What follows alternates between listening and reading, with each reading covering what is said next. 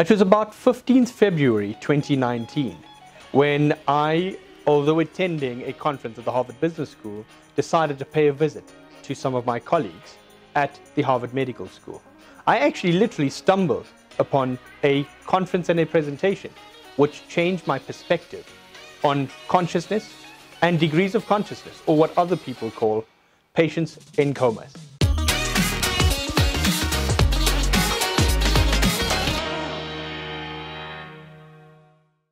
Hi, I'm Terrence Kommal. It was a freezing morning when I walked through Boston and got eventually to the Harvard Medical School campus and attended a medical presentation by colleagues within the Harvard Medical School on the ethical discussions around degrees of consciousness and what can and cannot be done. The presenter on that freezing cold morning was Dr. Brian Edlow, who is considered a domain expert at Harvard Medical School and Massachusetts General Hospital. And in attendance was Dr. Joseph Giacino, who is the author of some of the leading evidence in this space. I sat there not knowing what to do, being potentially the only African in the room, and attending my first presentation at Harvard Medical School, it was just a surreal experience.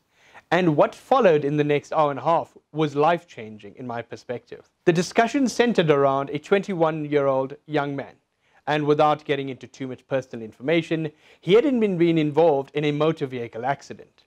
When the doctors showed us the evidence of what the patient looked like, they said his Glasgow coma scale was 4 out of 15, which is inconsistent and in keeping with coma or unconsciousness.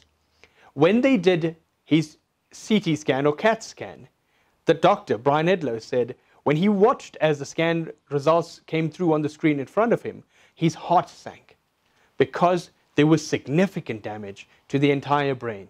There was significant damage to the brainstem. There was also on some of the specialized imaging on diffusion weighted imaging and susceptibility weighted imaging showing 18 to 20 different bleeds in different areas of the brain. Diffuse or large masses of damage to the brain tissue or what is known as diffuse axonal injury. He then took us to the process of how the patient was admitted, how he was treated, what they did for the patient, and how the opportunities or his window of improving was very small. And I too agreed with that because that's what we were taught in medical school, right? That's what we were led to understand right till very recently that when a patient has such a significant injury, he either is not going to live through it, so his potential to survive is minimal, there's also the risk of, if he does survive, he may be in what is known as a permanent vegetative state, or if there's a moderate level of improvement, he may recover with significant functional difficulties. And that is when, in my experience, families are then asked to make a decision. Do you want to turn off the machine or do you want to wait? Commonly, pressure is exerted from the paternalistic or the advisory perspective from the doctors who are saying, well, the opportunities are limited. He is potentially what some term brain dead. But in the presentation, as Dr. Edlow went on at, at Harvard Medical School, he then said these were their findings. But they persisted, aggressively using multimodal or different types of assessments, stimuli, as in audio testing, hearing testing, and they took him into what was known as a functional MRI, in which very stimuli administered to the patient so that he can, they can test if he responds to sound, music, touch, speech, and other things that you typically wouldn't get when you normally assess a patient. Because when a doctor assesses a patient and looks for a response, he can't really see whether the brain responds.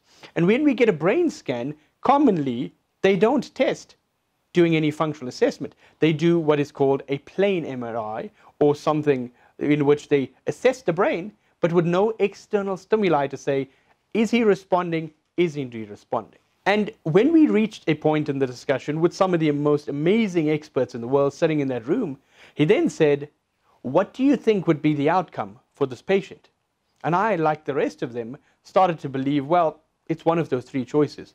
And none of them looked positive for him or his family. He then showed us a picture of a young man graduating summa cum laude in his degree.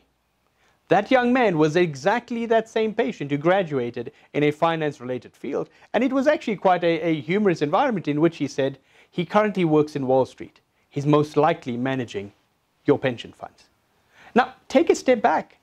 And to me, what was discussed was amazingly profound because there is a common practice, and I can speak from the Southern African space, is doctors will say, even if a patient is unconscious for a particular period, they draw inferences to say he'll always have a brain problem, particularly in the medical legal space. It's so fundamental because in South Africa, if a patient is unconscious for a limited period, and let me explain to you how that is done. That limited assessment of a Glasgow Coma scale in which they test visual response, motor response, and speech response is commonly done by basic life support healthcare practitioner. So somebody who's done usually a six-week training course, the basics of entry-level assessments, that's the first responder on the ground who documents. This is what I found a specialist neurologist or neurosurgeon who's been practicing for 15 to 20 years, who's been a doctor for 30 years, then bases his entire medical opinion on somebody who's done a six weeks course who may or may not even understand the concept of how to completely do that testing. Based on that, they then hypothesize to the honorable courts, to their law firms and instructing parties, this patient will never make it. He'll never succeed. He'll never mount to anything. He's always going to have a brain problem. And they then start to hypothesize. And in my mind, it almost starts to look like Alice in Wonderland. Because you go down a hole of random speculation because one, just one set of tests said there was some portion of unconsciousness. But Harvard Medical School experts now say this is the finding.